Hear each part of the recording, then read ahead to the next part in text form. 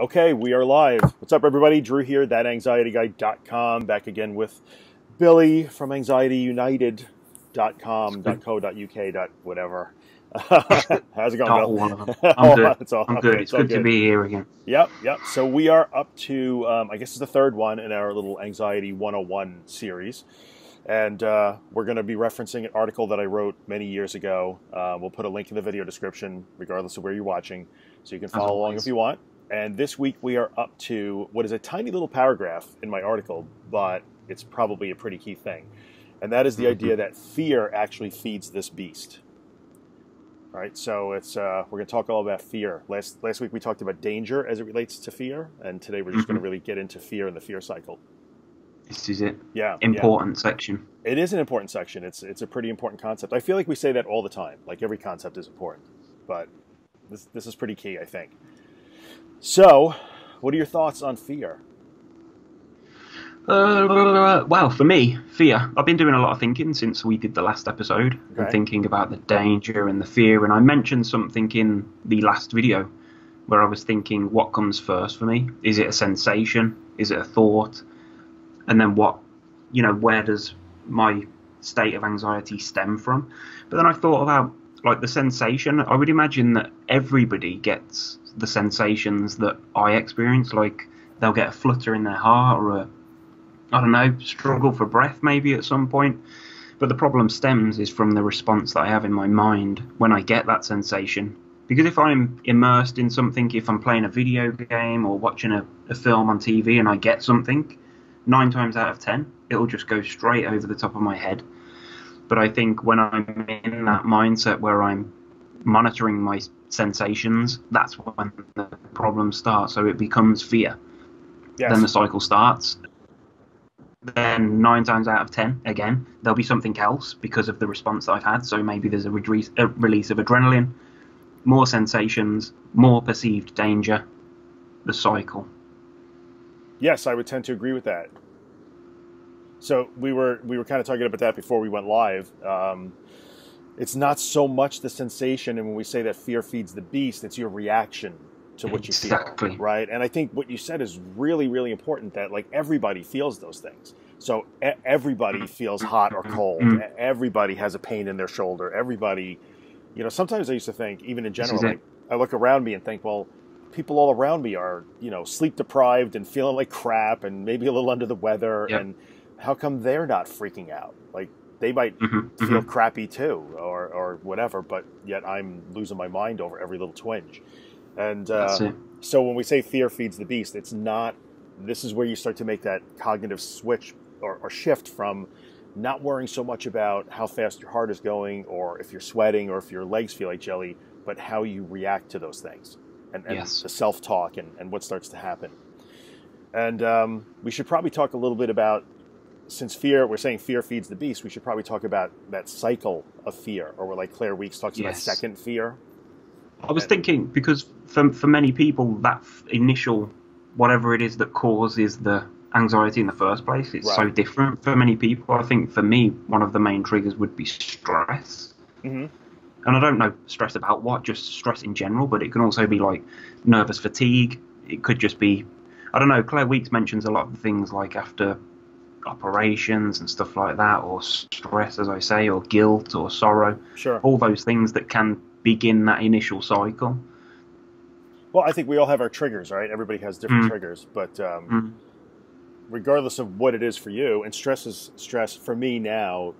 Stress, sleep deprivation. you Yeah, know, I've more another- susceptible, yeah. right? Mm. But regardless of what what it, the trigger is, it's once you've you experience that trigger and you have that that reaction to it.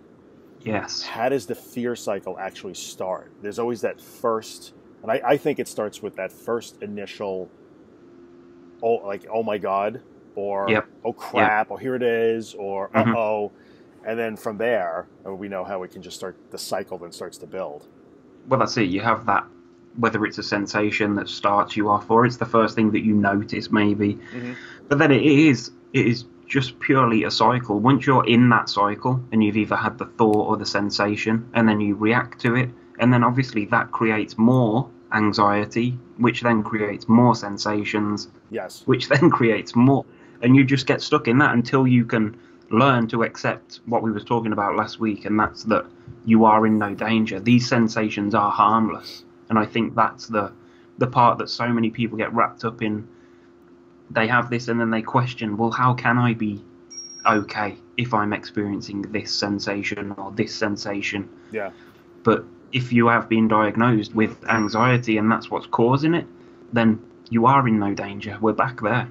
Yes, and I think that's pretty. That's a pretty important point. If you've been diagnosed with anxiety, and I think some people they don't, you know, maybe they haven't sought that diagnosis, they haven't gotten it. Mm. But I, I always feel like even if you haven't been officially diagnosed with an anxiety disorder, after this happens fifty or sixty times to you, at what point? At what point does the Yeah. rational part of your brain to begin to hold sway in some way that says, Mhm. well, this is obviously not heart attack number 65, so Yeah, But, yeah, that's a um, very good point. yeah, and you're right. So regardless of what the trigger is, and it's that initial that initial flash. So I can I can relate. Um, a couple of days ago, I was out, and it's funny. I had to put gas in my car, petrol. Mhm. So I had to put gas in my car, and um, I was pumping the gas, and suddenly I realized like I'm feeling a little depersonalized. Like Mhm. I, I suddenly noticed that I was feeling that way. Yeah. And what the best way that I can I think relate that is if I would go back like to when you and I first met, that instantly takes hold, right? Yes. And it's like, okay, yes. now I start to focus on how I feel. Well, the Mhm. gas, well, the gas pump doesn't seem real. I can't. I'm not sure that I'm really feeling the, the Mhm. gas pump in my hand, and that looks weird, and I don't feel like myself. And and I begin to think about and really Yep. turn my focus inward on Mhm. every sensation and every thought, and start to have an inner dialogue with myself. Mhm. So I think the fear cycle really starts when you react to that sensation. For me at that moment, it was that f- slightly derealized Yeah. feeling. Yeah, Um, and to me, I know success comes from me when I notice it. And at this point, I can say, okay, I noticed it. Now let's just move on to something else. yeah, so I still have that thought, that initial thought still comes. I just don't answer it. So I, I don't know. I, I think so. Talking about the fear cycle, the fear cycle really is fueled by, to me, having that inner dialogue with yourself. yeah. I think I would agree with that. Right? You have the, you have those negative thoughts, and then when you start to answer them, that's when yeah, exactly. carried away. I think, and a lot of people will try and maybe they'll have the sensation and they'll just try and dismiss it. Whereas I think what you've just said is is the perfect solution. Is don't dis, don't don't just try and dismiss the fact that it's happening. right, it's Acknow- happening. Acknowledge it. Yeah, Yeah. yeah, Acknowledge it and just say to yourself, "This is happening right now, but I'm in no real danger. This Right. isn't anything more than a normal sensation or whatever, or even if it's a flashing thought. Mhm. It's that next stage. Just don't get caught up in the cycle. Yeah, because once that once that thought pops into my head, I can still I still have the thought, and I'm just trying to really break it down, like what actually happens in that situation. So you know, it's Mm. scary. It's it's a little bit Mhm. frightening. So it's like that. Oh, this is scary. Okay, I can acknowledge it as this is an unpleasant feeling. This is what's happening right now. But it's it's there's no more judgment attached to it as saying well, like, hey, the sky is blue or it's raining. It's just it Yeah, just yeah, is. yeah. There's no good. There's Yeah. no bad. There's no anything. It just Mhm. is and that's where you start that's where you break the fear cycle so the initial flash of fear might be there but if you don't i just keep talking about inner dialogue if you stop don't answer yourself like Yeah, that's it. Don't add the what ifs. What Right. if this happens now? What if Right. that happens next? or i think it's okay even to have that thought you know because it's Mm. hard to stop them like well i can i can still let that thought come into my head i'm just not going to answer it like I, Yeah, I'm not yeah. going to start to discuss it with myself i'm just Mm. going to let the thought come in and go because I think what goes on in our heads is really what fuels the cycle. It just makes it worse and 100%. worse. Yeah. Mm. Um, maybe we should talk a little bit about. I'm not going to say it's irrational because in the end, there there's always a, a, a little bit of rationality in the fear. Mm. Do, do you have you ever been in that situation where your reaction, you start to have that inner dialogue, you follow down the, the fear train or go down that road in your head, and you convince yourself like this must be the one in a million time that something is really wrong. Is that a, is that has that ever been a thing for you? I don't really know, to be honest. I think maybe the panic attacks that I've had, that's probably the only times that it has, when it's developed into a full blown panic. Right. But what I what I notice with myself is like I'll if I speak to my wife or, or anybody like that, I'll always say I've had a bad day. Yeah. But for me, I think the anxiety that I have with a fear response or anything. It only ever lasts for I don't know hour tops. I would say Okay. it's never a. I never touch wood have a bad day Yeah. where the whole day is whole just day. fueled with anxiety and it's fear after fear and sensation after sensation. right. If I if I break it down, I think that's why a lot of people tend to keep a journal so you can sort of you know break the day down into hours if you have to and Yeah. recognize and realize that you don't have constant anxiety. It's not fear after fear. There are stages in the day where you can have a brief respite, even if it's only one good hour, Yeah. and then try and focus on that maybe. But I don't know. For No. me, I've ne- it's it's never been that. You, you I mean, never- it's been that intense, but it's never been that constant sort of thing. Sure, and I think that makes sense. Like when you know, if it actually does get into a full blown panic attack, because maybe you just went too far down that that road Mm. with the thoughts. That makes sense. I mean, for But me, then, I know then you, used to be for me. yeah, Yeah, once you've had that panic attack, that kind of quashes the fear. Then It- at the end of it, it you does, get right? that you get that brief moment of yeah, right. because that- you're just you're all you're all out of everything. You know? Right, right. You're out of chemical. That's it. Like it's run its course. Yeah, and yeah, yeah. There's that magic moment of when you finally realize, Mhm. like, oh, that was stupid. You know, it was just a, a panic attack. and I'm fine. That that Mhm. magic moment of I'm fine. I guess, which is Mhm. you know, Yeah, and, yeah. and I think if we recognize the fact that we're talking about here is a fear cycle, and that fear is really what's feeding this or fueling this. It's not. It's not the sensation in your body. It's not the annoying person in the cubicle next to you, or it's it's not the fact that you're in a supermarket or in a shopping mall or. That's or, it. The you know, situation is irrelevant. it's irrelevant. It doesn't matter. It's how you react to that situation Mhm. and the fear you create in your own head. And when you learn to, you know, acknowledge that, understand that, and stop the cycle from ever getting started in the, to begin with, then Mhm. that magic, like, like comes fast. Suddenly, Yeah. it, it happens instantly, or, and after a while, you don't even notice that it happens because you don't even get to that afraid part or that disturbing part. You don't. That's it. You don't need to feel better because you always feel okay. So So is this is this acceptance? it all ties, Acceptance of it all ties together. the response? Yeah, yeah, a little bit, accepting that yes, and, and part of it I think to tie it into acceptance is it's what's happening is happening. When I feel derealized, I just am. It's okay. Mhm, So mhm. as opposed to saying like I need to find a way to make this go away, or I need to find a way to get to safety, I need to find a way to stop my heavy breathing. Yeah, I need to do something Right, that's going to stop this from happening. Exactly. I don't need to do anything. Um, Yeah, yeah. And I think like when you, you mentioned talking to your wife, and you may just describe to her, well, you had a bad day. But I think a lot of people, when we use those things, like as a, a safe person or safety behavior, and we'll talk about those things down the road. But to illustrate the fact that it's the fear in your head that really fuels this, when you have that distraction, like if you know, if your wife walked in and you started a conversation with her, maybe you mentioned Yeah. I'm not feeling so good right now, but if you get Mhm. into a conversation with her, suddenly you, you suddenly don't feel so bad. I bet. Yeah, yeah, Yeah. yeah, hundred percent. Yeah, and, and, and that's the distraction. It's just it's not because your your mom or your wife or your boyfriend or girlfriend, husband, dog saved Mhm. us. It's, Mhm. it's because they got you out of that whatever you did, snapping the rubber band or coloring book or whatever, got you out of that Yeah. fear cycle. Mm. Yeah, yeah. So you know it stops you from manufacturing fear in your own head. which I suppose the- these being things that we would then consider safety behaviors. Yeah, and we can talk about that down the road. We're going to talk about coping. Yeah, yeah. I was just saying, which avoidance are not necessarily helpful. Yeah, right they're not i mean they they, they are helpful in, in so much as they can illustrate what's going on and, and point out things but uh, well i think that might be next week i'm not sure but um, they're not necessarily helpful other than helping you Mm. recognize like oh wait as soon as i get out of my own head things started to be better um, which is Mm, often the mm. case and i think it's worth mentioning even for people we may be talking about full-blown panic attacks but even people who will say to me well i'm just anxious all the time every Mhm. day it's it's Mhm. just from the time i open my eyes to the time i go to bed it's torturous anxiety all the time I've, I've said that myself before many a time. right and, and and really again what's fueling that you know because I think just when you're in the moment, you just you're so negative and wrapped up and caught up in it that you just believe that it is that constant. When in reality, it's it's not.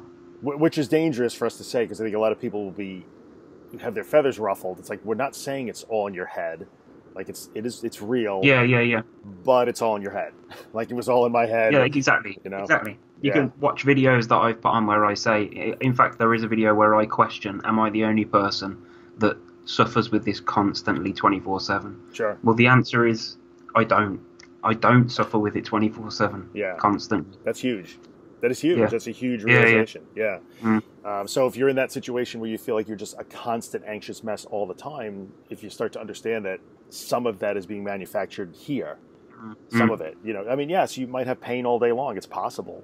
It's Mhm. possible your leg hurts all day long. But, pa- yeah, pain is not anxiety. Right. Pain, neither is a racing heart. Neither Mm, is mm. neither is being in the supermarket or having to Mm. go to a wedding. That's not anxiety. Mm. You know, it's it's what's going on in here that actually generates the anxiety. So, again, the bottom line here: fear feeds the beast, and we have to learn to recognize that. And then, when we learn to recognize that, then we can learn techniques for stopping that. Yes. And we'll get to that. I was just going to make one point about the fear cycle, and that is sometimes, like with the the start of the anxiety and then the sensations, the after effects of the cycle, right. sort of when you do come out of it, because I've felt exhausted after it, Yes. and that can then sometimes kick off it again because you'll start worrying about, I've got no energy, I'm tired all the time, Sure. and that's something that I've got caught up in quite a few times, and then I'll then I'll spike again and why am I feeling like this? And then I'll start feeling the other sensations and I'm back in the loop. So I think recognizing that sometimes after you've been in the cycle, if you can glimpse out of it, then just expect that you will feel, you know, a bit fatigued after it.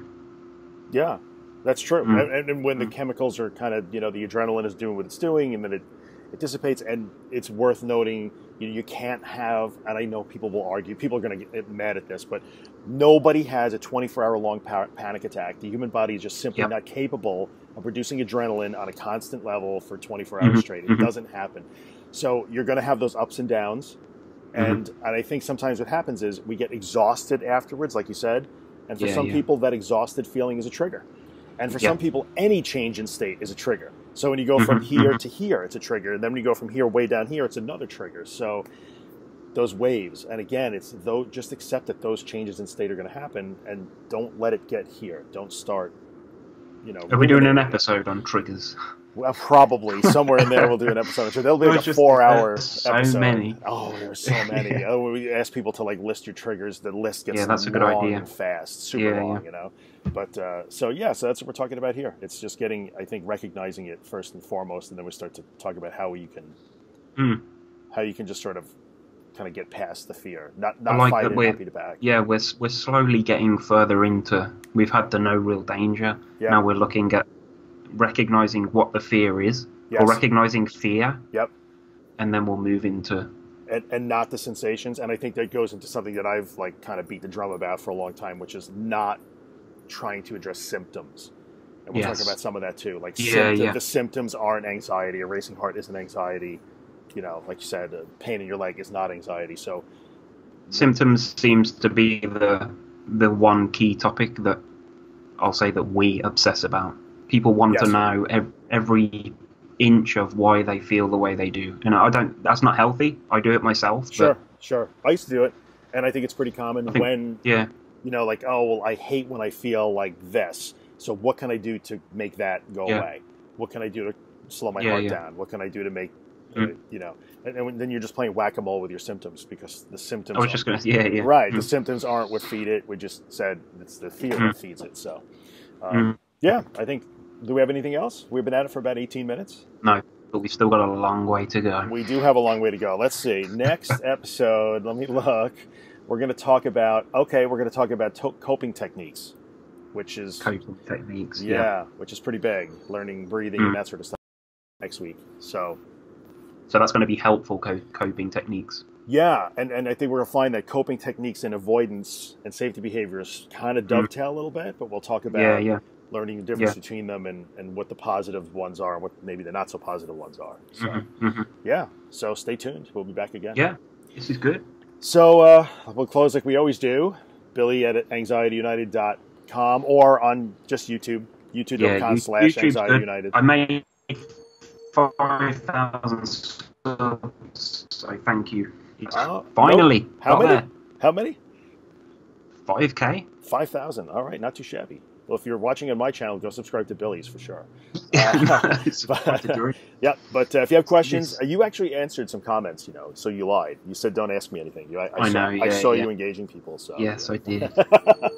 but uh, I had yeah, some time on my hands. I thought, sure, yeah. let's do this. Any, uh, of course, questions and comments are always welcome, whether it's on Billy's channel or my channel, Yep. or at tw- I'm on Twitter at that anxiety guy. But no one tweets at me. No one cares about Twitter, I think, or um, It's just they've changed the layout. a little bit. Facebook.com slash that anxiety guy, or just thatanxietyguy.com. Just send whatever comments and questions you have my way, and we'll Yes. we'll incorporate them. At some point, maybe we'll take a break from the article and actually do like a Q and A.